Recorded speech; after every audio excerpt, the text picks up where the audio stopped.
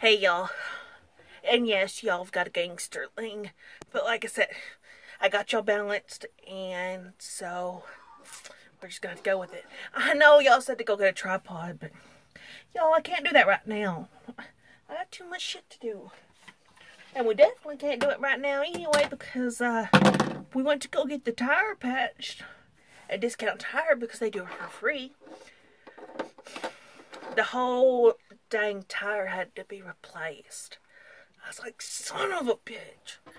So y'all know, and, and I'm fiddling with stuff, guys, because I'm just now was able to get away. Lovebug had to work, so I've had to be stay-at-home mommy with Daisy again, and haven't had any time. Usually the weekends I have time to myself to come in here and work.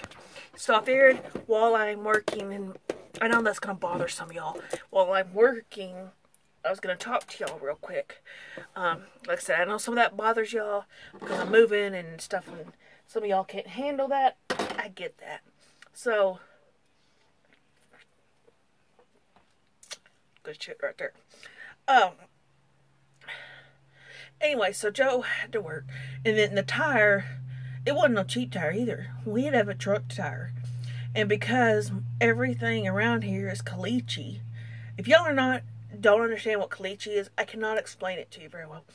It's like crushed up limestone. It's hard as rock. They use it around here to pave roads because it sets up so hard. And we were getting them. We got one tire messed up with that. This new tire, this tire that, that just got pierced was mesquite tree thorn.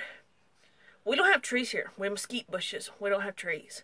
Um, well, I take that back. My neighbor has got a tree, but it's mostly mesquite trees or bushes or whatever. So we had one of those in the tire on the sidewall, so we had to replace that. I'm like, Dad, that was like a two hundred dollar tire. And uh, but we got all terrain this time, and we're gonna get the other one payday. But we needed something a little heavier duty because that's all we run is caliche, and uh, it's just it's just crazy.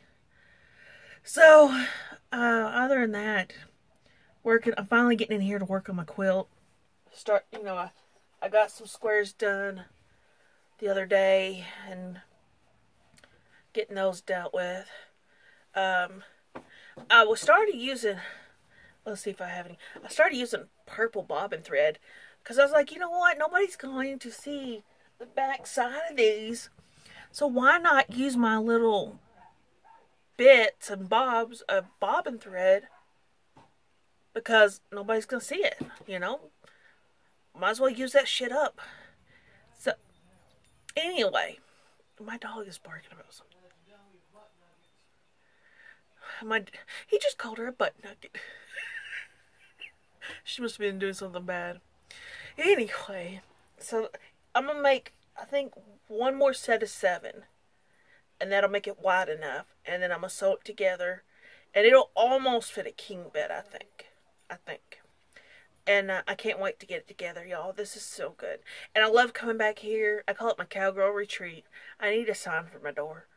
But um because I have a curtain. See my curtain? But uh and then I put in my music, my heart radio, a little Chris Ledoux, I have a weird collection of music stations. It's either Chris Ledoux, Nickelback, Bryan Adams, the 80s, or One Hit Wonders. I'm an 80s girl. Oh my god, music was so good back in the 80s. Uh, what has happened to music? Now it's all a bunch of hoes shaking their dirty asses on TV and or the music videos, and it's just like, Oh, my poor kids are watching this crap. Thankfully, my kids are country, but they still see it. Back in the 80s, we didn't have that really. We just had crazy hair and neon colored underpants. I mean, I'm just glad I was one of those that made it in the world before social media. Because I probably would have. I've been on one of those compilation videos. I'm just glad that I, I, I was raised before that.